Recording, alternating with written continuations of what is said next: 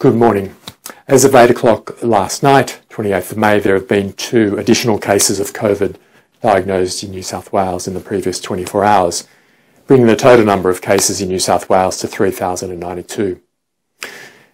Yesterday, there were 9,962 tests carried out, compared with 9,872 cases in the previous 24 hour period.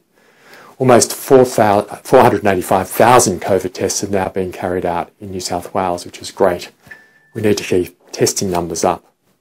There are currently 78 COVID cases being treated by New South Wales Health. This includes one person being treated in intensive care who requires a ventilator.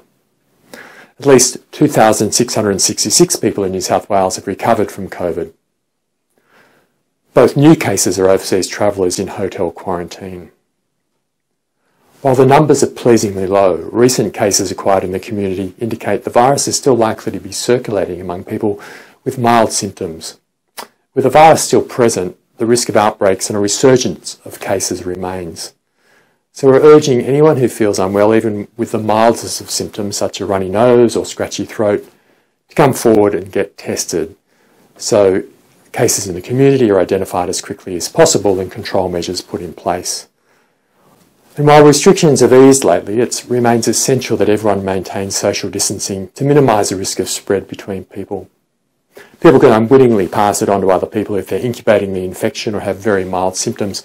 So we all need to be very careful and practice hand hygiene and maintain social distancing by keeping at least one and a half metres away from other people. And if you're sick, stay at home, isolate yourself and get tested. Thank you.